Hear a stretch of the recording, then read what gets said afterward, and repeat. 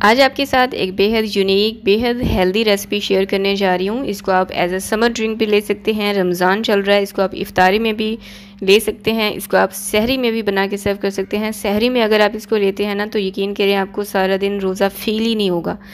असलम मैं हूँ उर्वा और आप देख रहे हैं ice and spice YouTube channel इस रेसिपी को आप अपने बच्चों को भी बना कर दे सकते हैं। बच्चे, बड़े, बूढ़े, बुज़ुर्ग सभी इसको ले सकते हैं। बहुत हेल्दी रेसिपी है।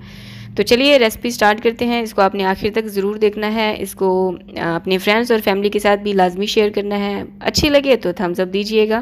सब्सक्राइब करें ice and spice YouTube channel को। साथ में घंटी का बटन प्रेस करके ऑल पे क्लिक करें और पाएँ डेली अपडेट तो जी बिस्मिल्लाह करके रेसिपी स्टार्ट करते हैं। सबसे पहले हम स्मूथी तैयार करेंगे। इसके लिए मैंने लिया है एक जग और इसमें डालेंगे एक कप दूध। मैंने फुल फैट जो खुला दूध होता है ना, वो वाला दूध इस्तेमाल किया है और यहाँ पर मैंने ली हैं बादाम। बादाम को मैंने पंद्रह मिनट पहले गर्म पानी में भिगो के रख दिया था और इसके आपने छिलके उतार लेने हैं। ये इसमें डाल देंगे बीस से अठारह से बीस ये बादाम थे और 18 से 20 ही मैंने ली थी खजूर। इनको जो, इनके जो बीज थे ना, उसको आपने वेस्ट कर देना है और इसको आपने इस तरह से चॉप कर लेना है।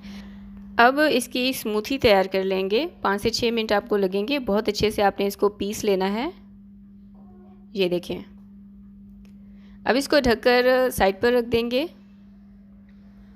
यहाँ पर मैंने लिया है एक लीटर दूध। अच्छा मैंने टोटल एक लीटर दूध का इस्तेमाल किया है और इसी दूध में से ही मैंने एक कप पहले दूध लिया है, जिसकी हमने स्मूथी तैयार करके रखी है। अब इस दूध को आपने कम से कम भी 10 से 12 मिनट तक के लिए मीडियम हाई फ्लेम पर अच्छे से बॉईल करना है। थोड़ा सा ना ये अपनी क्वान्टिटी से रिड्यूस हो जाए। उसके बाद अब मैं इसमें डाल रही हूँ, मैंने यहाँ पर लिया है दो खाने के चम्मच कस्टर्ड कस्टर्ड पाउडर अगर आपके पास कस्टर्ड नहीं है तो फिर आप इसकी जगह पर कॉर्नफ्लोर का भी इस्तेमाल कर सकते हैं। इसमें आधे कप के जितना पानी डालेंगे, उसको अच्छे से मिक्स कर लेंगे।